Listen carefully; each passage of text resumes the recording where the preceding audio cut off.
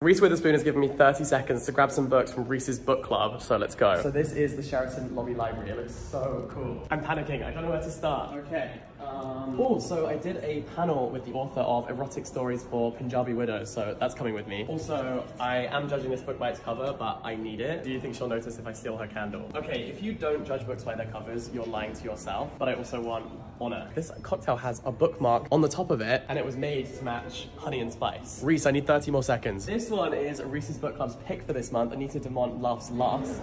I'm panicking. I'm overwhelmed. I've heard so many good things about True Biz. It's about ASL and deaf culture. And finally, The Paper Palace has been on my TBR forever. Thank you, Reese's Book Club, and happy World Book Day to me.